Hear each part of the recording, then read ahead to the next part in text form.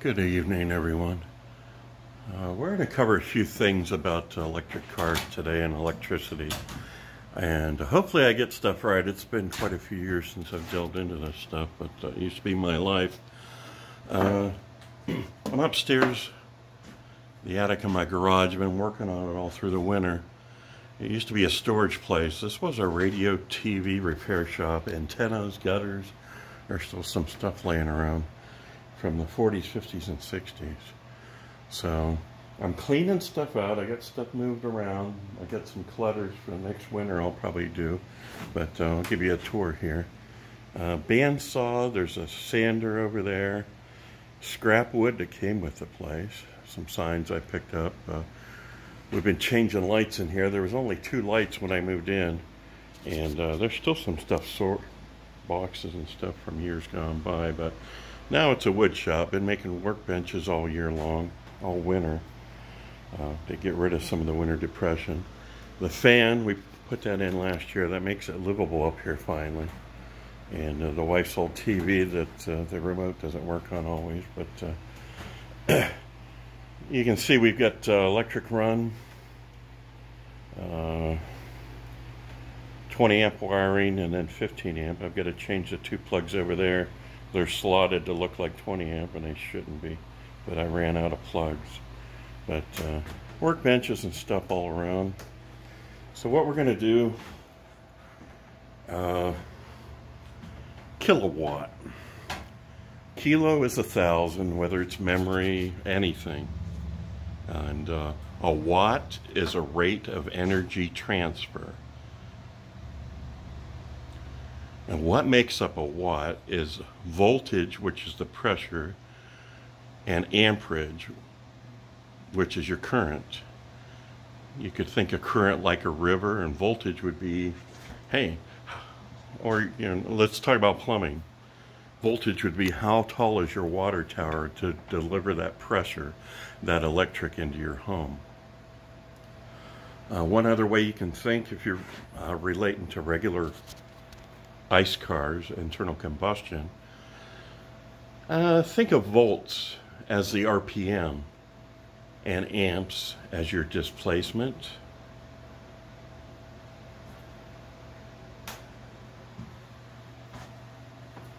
So you can have a 400 horsepower car with a smaller engine that would take more RPM to get there or a larger engine that doesn't require all the RPM because it's got a lot of strength in the displacement inside the engine. It's got torque.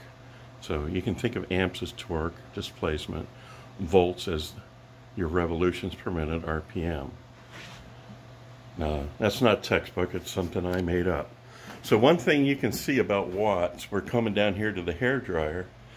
a lot of people know what a 1200 watt hair dryer is.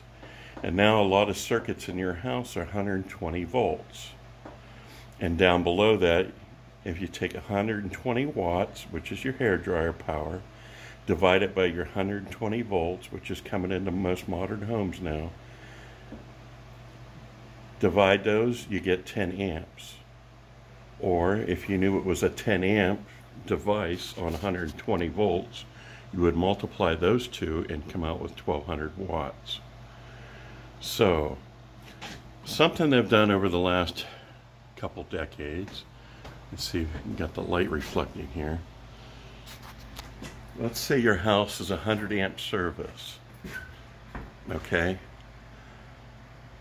Here we used to get 110 volts, which was 11,000 watts of power. Then it went to 115 volts. At the same amperage, that's 11,500 watts. Now we get to 120 volts and sometimes 125. So we're getting 12,000 watts. It's a way to deliver more power to your house without increasing the size of your wires. Now back in the 50s, cars went from 6 volts to 12 volts. That allowed them to use smaller wires, less copper. And, you know, with the 12 volts, your starters turn faster. If you ever heard a 6 volt car starting, it just turns over real slow. Now, a kilowatt hour is a thousand watts of power for a one hour period. And let's say you're looking at a car with a 60 kilowatt hour battery. Mine has 62. If you want to know the cost of charge, go to your electric bill and find out what they charge you per kilowatt hour. Ours is under one nickel and has been for over 50 years. Okay. So we take the size of the battery, say it's 60 kilowatt hours, and multiply it by your electric cost. Mine would be at, at most a nickel. And there's very little loss in transfer. So 60 times a nickel is $3. And uh, that would be a dead charge to a full charge, zero to 100. $3. So uh, they tell you to charge 20 to 80 percent unless you're taking a trip, and then try not to go to 100 percent uh, if you're going to take a trip. Try 95, 96, because these uh, electric cars have regeneration, and you're going to be limiting that if you go to 100 percent charge. So it's a whole different world out there. We got a lot of stuff to learn. I've been working on regular cars for years. Uh, there's a whole downstairs working on brakes. I've never done major engine work. Uh, I've done simple engine work and outboard motor work and stuff like that. So uh, I'll give you the whole shot. Uh, I do have a gimbal here, but it's clicking, so I got to figure out what I'm doing wrong with that. You can freeze this shot and go over things. And we'll be going uh, into the batteries for electric cars, charging, distance, and recharge rates. It's not always the biggest battery in range that's the best thing. There's also recharge rates and uh, also uh, your circuits out there for recharging your cars if you're hitting the road. There's the Tesla circuit, which comes with the cars. Uh, it'll program and tell you how long you're going to be at which station and what percent you're going to be leaving and coming in at. And uh, a better route planner is the one for all other cars, and PlugShare shows you the condition and type of chargers at each station. So I uh, figured I'd give you this and give you a tour of this mess up here. I'm uh, I went stupid and bought a used boat. And this guy, the guy said the seats just need sanded. And I've got like splinters in my hands. Trying not to get infected because the wood's like 40 years old. It is rotten. So that's the front seat. And uh, I've got two vertical pieces of wood, one by one by two on the other side I cut.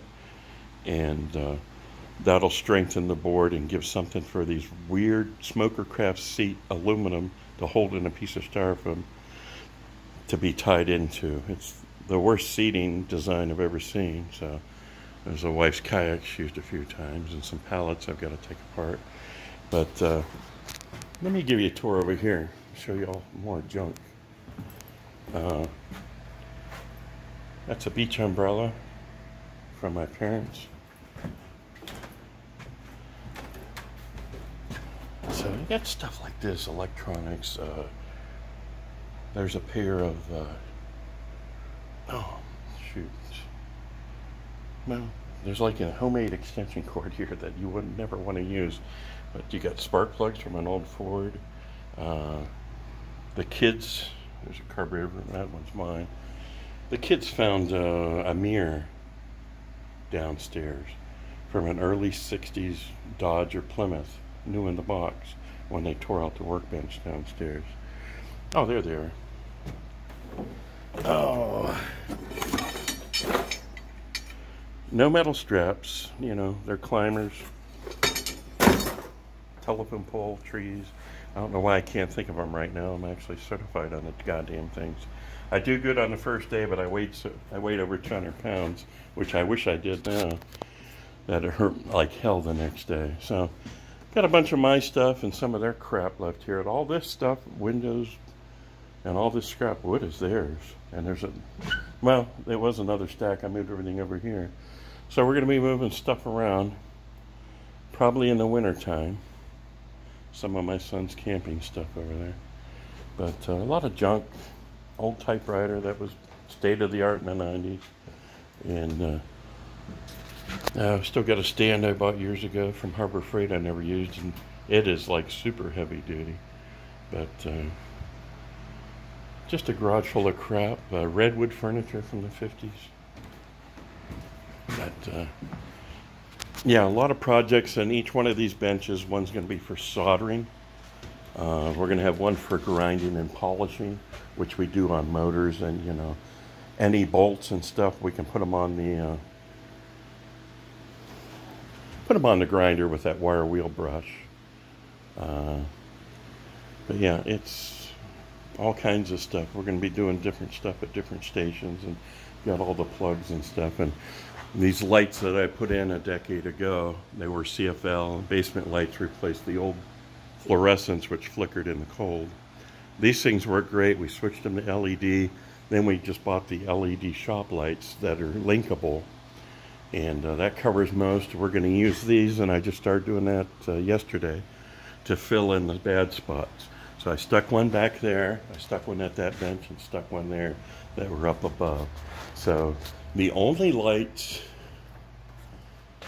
there's one behind the board there I covered up, and there's one back there by the fan. Those are the only two lights in the place. And this place, like I said, that's one of the TVs left behind. They auctioned it off. I missed the auction because I was actually into that kind of stuff in the 90s. I sold original picture tubes from the 40s from here, traded off other antiques for boat motors and for money. The uh, CRT round picture tubes, they brought good money.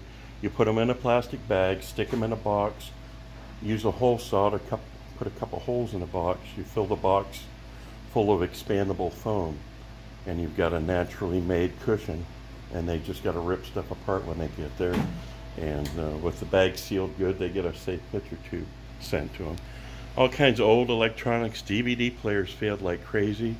I've never had a vcr fail me. I've only had two vcrs one of them there one in the attic of the house. They never went bad on me. The one in the house the uh, one of the plugs for input or output broke off and it still worked. So uh, we're going to be doing a lot of stuff here and that's why I bought this board off of uh, Facebook last week so we can cover stuff. And any arguments, you know, if you know what you're talking about. But uh, I've had this car, uh, I traded in a huge extended van for it and I've got another full-size van out front so there was no reason to have two big van fans so I've been wanting something like an electric car or a hybrid car for decades uh, we test drove a 2002 Prius and uh, never made it happen so it's kind of exciting I'm old and I said you know what I wanted a new car uh, we haven't been using the van. The family didn't gather to fill that huge puppy up. And uh, we didn't adopt any Amish families to fill it up. So mostly I was in that extended van by myself. And uh, it did fit a 14-foot kayak right up the middle. so I got this car and I figured, hey, electric. I'm old. I want to try something different. And it's kind of exciting. There are questions, though and I've got them just like you got them. But uh, I hope this helps explain things. So, uh, electric is just math. I love math. So remember, if you go through your house and it gives you the amps or the watts on the back, and you know the power coming in is mostly 120 now, you can do the math to figure out the amperage or wattage, whatever they don't give you, by dividing or multiplying. Uh, you remember the movie, Mr. Mom, where he talked about 220, 221. That means his single service outlet was 110 volts back then. I remember when it went to 115, and now it's 120. And when I was measuring with my uh, through-line amp meter, when I first got my electric car, I only did the uh, trickle level 3 charge through the amp meter I bought off of uh, Amazon. What I did, you actually enter in how much you're paying for electric, and it's in cents. So it was like 4.92 cents. You plug it into the wall. It only required a 15 amp uh, plug. And I, what I did is I upgraded the 20 amp downstairs here and in the other garage. Whatever they ask for, I do more, kind of overkill. And then it tells you it's taken so many kilowatt hours to do a full charge, and then it gives you how many pennies it was. Uh, the amazing thing was is I bought an electric lawnmower from Walmart, and I bought it to do the hill out front on a rope. Uh, I used to do it lateral. It's a real steep, short hill, and then you know I get heavy, get older. I don't, you know, and I start going up and down. So I got tired of that. Now it's on a rope, and a battery mower weighed less, and a cheap battery mower was even better. And that darn thing's got a handle on it. Cheap rope from Walmart, rope it up and down the hill last year. So I used that amp meter to test the battery recharge on the Hart lawnmower from Walmart. It came out to 0.72 of one penny. Less than one penny from a dead to a full battery. And it probably cuts, I don't know, quarter acre? Uh, I did make a video on that, I believe. And uh, one of the greatest things was a Lawn Boy had two-stroke lawnmowers. The oil's mixed in with the gas, so when you did a hill, you didn't have to rely on the sump oil to get in your four-stroke motor and lubricate it around. The oil was mixed into the gas, so Lawn Boy two-stroke mowers were great for doing hills. Well, now battery mowers are like ideal, plus they're lighter, they don't smoke, and you don't have that goddamn offset wheel that just plows into a hill. You know, I don't know why Lawn Boy did it. Lawn Boy actually comes from Evinrude, I do believe. So, uh, we're going to go through and explore some stuff, and I'll probably recover some stuff later on. That's what the board's for. So, like and subscribe. Share this with your friends. You can comment down below. Uh, this old veteran suffered for 10 for over a decade of seizures and stuff so hopefully my brain is working. Uh, it's not working anywhere near what it used to but uh, this is going to give you some things to think about.